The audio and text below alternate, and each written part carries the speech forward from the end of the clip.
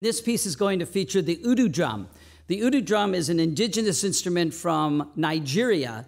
The Hausa and Igbo people from Zaria, Nigeria played this instrument.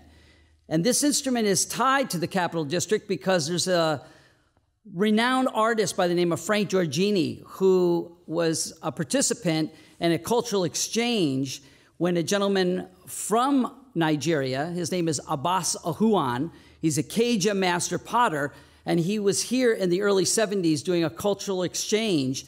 And Frank happened to be a participant along with a lot of other individuals. But Frank took this instrument, and as an industrial artist, he looked at the form and he just wanted to kind of come up with his own technique to sort of refine the art of it. And for my friends that may be potters or sculptors that use clay as a medium, I wanted to point out this, it, this instrument is specifically created by slab and coil. So from the midsection of the bottom of the pot down, it's a slab, and they create it by taking clay and putting it on an old rock or an old drum and beating it down with a flat rock, uh, beating it down with a flat rock, excuse me, and that stretches the clay.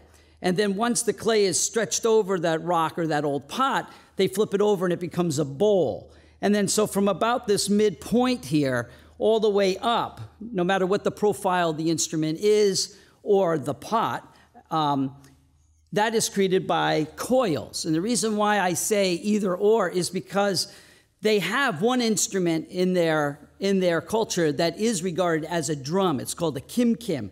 Looks like a dumbbell. And traditionally, these have a tiered shape or a spherical shape with a stubby neck. This instrument here is unique. This is one of Frank's designs. It takes and borrows from both of those concepts. The bottom would be more of that tiered shape, and the top is a little bit more like the Kim Kim.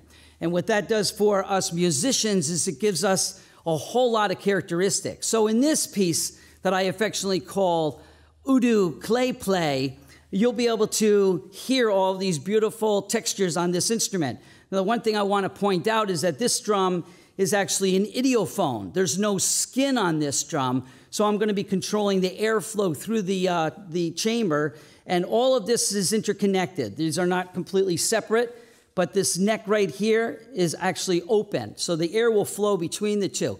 And if you want to, look at your palm and just trace the center part of your palm and that's how I'm going to control either sealing the hole or releasing the sound by pulling the air out of the drum.